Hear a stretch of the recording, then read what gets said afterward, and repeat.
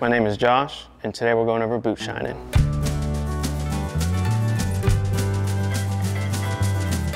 Right here I have the goatskin Cartwrights. These are what they look brand new.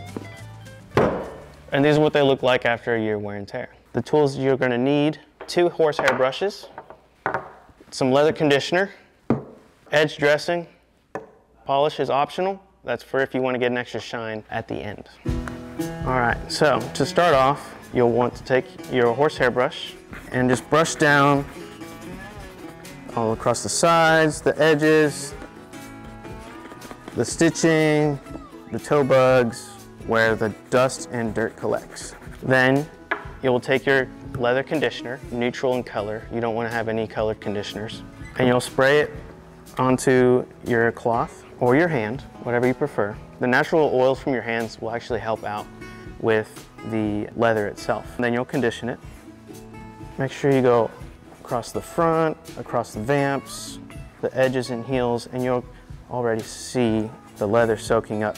And typically, I like to go from one foot to the next before starting the next step. So I'll condition my left foot and then I'll condition my right foot before going to the next step. Get this brush down again.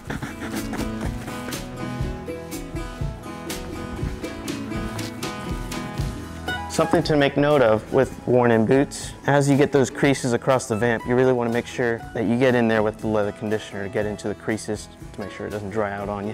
Then you will take your polish, one fingertip's worth, and apply it to the toe box.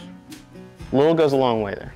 This is where the next horsehair brush comes in, and you'll start to buff it out. You want to go in circular motions. You can also go side to side. Circular motions works a little bit better to get friction from the heat, uh, you're not necessarily going for pressure here.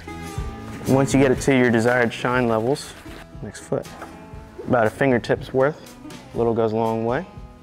Apply it to the toe. You don't want to put it across the vamp because it could cause the leather to crack, depending on the leather that you're working with. All right, then you take your edge dressing and go around the edges here. This will help fill in any of those little cuts and really just make sure that this stays conditioned as well because these are leather outsoles, so they do dry out. Go over the heels. And again, you go from one boot to the next.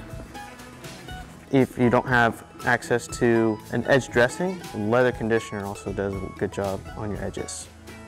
And that's how you condition your goatskin boots. For other leathers, check out the rest of our series.